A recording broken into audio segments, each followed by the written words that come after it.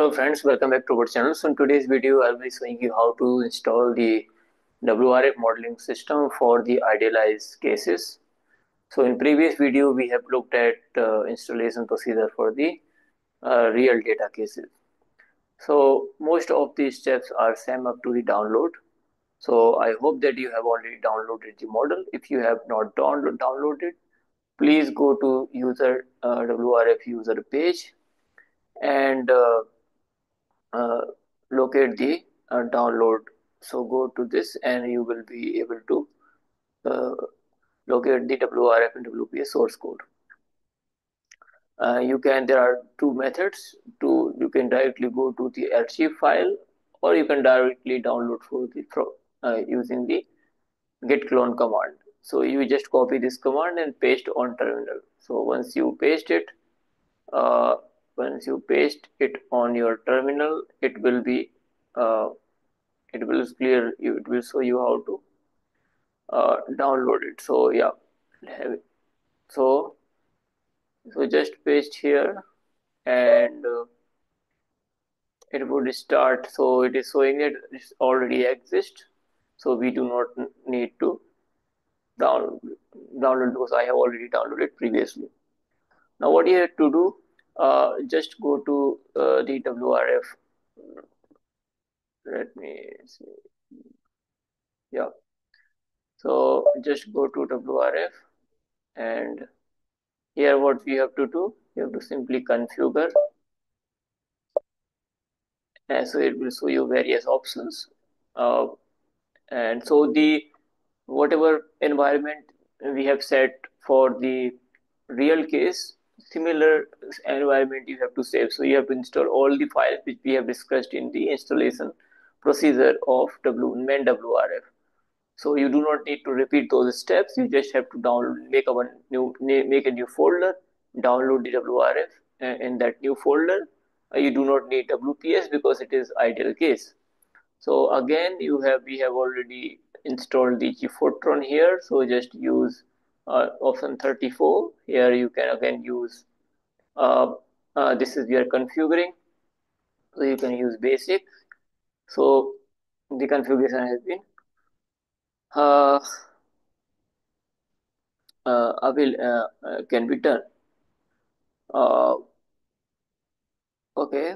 So now what we have to do we have to compile uh, this bit where is the, so it is showing that we have to select one option. Okay so you we are trying to check for the so you have several cases so you can choose any of these. So i'm just using em tropical cyclone to for the illustration purpose. So okay let me clear it first. Then we have to use compile uh, compile tropical cyclones. Okay so let's wait for its com compilation and we will come back once it is done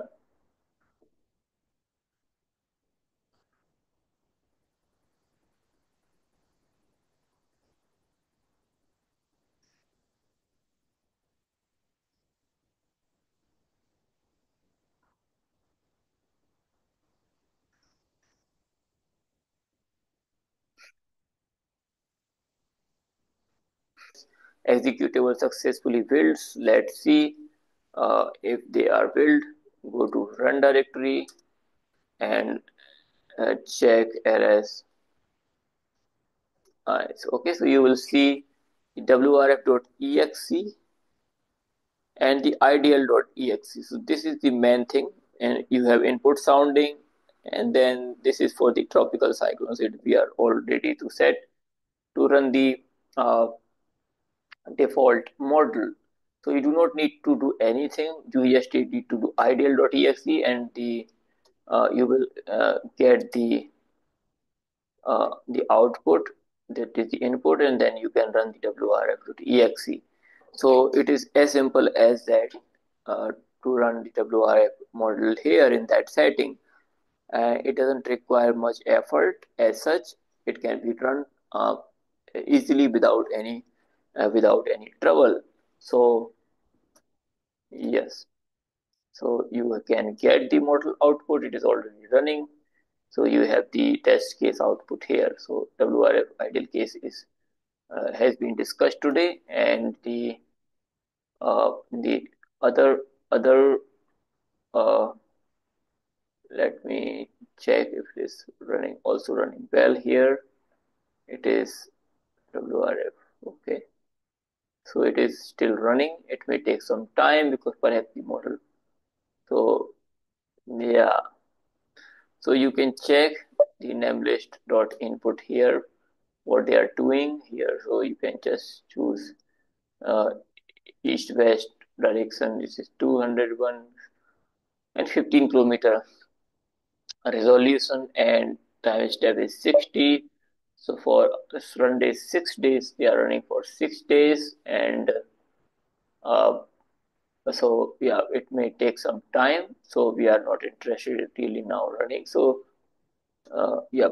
So let's see. Okay so it's around 60 MB so it's it's not a big deal. We can analyze that data in the later uh, lecture. Thank you very much for watching and I will see you in the next video. Bye, -bye.